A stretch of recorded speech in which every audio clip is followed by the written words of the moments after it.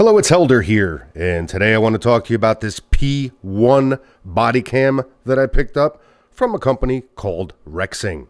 Now, when we think of body cams, we think of law enforcement, security personnel, first responders, and of course, that completely makes sense. As a matter of fact, for them and for most of their departments, wearing a body cam isn't even an option. It is actually a must. In today's global climate, it's not just law enforcement and first responders that seek these types of devices, it's also the average citizens. Everyday citizens are put in situations where they wish sometimes that they had a body cam to record what was going on, and many are opting to do so. And that's why I wanted to go ahead and bring this Rexing P1 body cam to your attention. So let's get into some more details on this P1 body cam. The things that I do like about this P1 body cam is its form factor.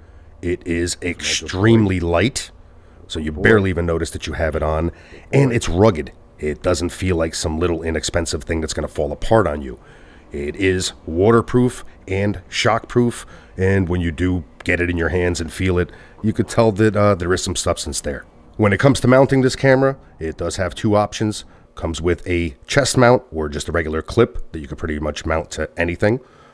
And it also has an epaulet or a shoulder mount. There is a 3000 milliamp battery in this P1 body cam. It also has 64 gigabytes of built-in memory. Now, some people might find the fact that it doesn't have an expansion slot or a removable SD card might be a downfall.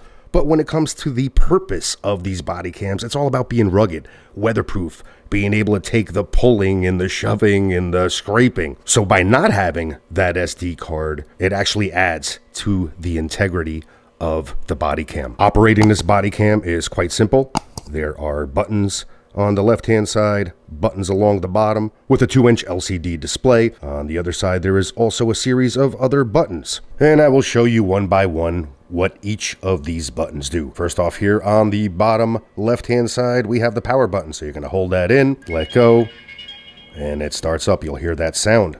The sound does get annoying, but if you are using this for security or outdoors, those louder sound cues actually come in handy. But keep in mind that there also is a stealth mode where you can disable all those sound effects as well as any of the LED lighting that comes on the body cam. So right off the bat, as soon as you turn off the camera up on the top right, basically tells you how many hours you have of recording, right underneath that how much free space you have on your internal memory, and then on the bottom there are a bunch of others, what your camera name would be, your police ID, anything like that that you would want to configure that would uh, make sense, let's say, to your operation. And then, of course, there is a time and date stamp as well as battery level. Going up from the power button, there is the USB port, and of course comes with a USB cable, for charging purposes as well as transferring data to your laptop. You have your OK button in the middle here to be able to select whatever you would want to select.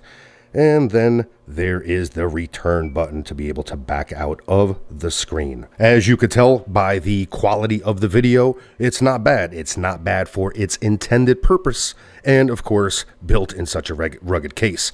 Remember, the purpose here is not to post the latest and coolest YouTube action video. It's meant to document information when you pretty much need it the most. Keep in mind that I will put a lot more information in my blog post, so be sure to check it out. I will place that link in the comments field below. There is also a panic button feature, and you activate that by holding down the OK button for a few seconds.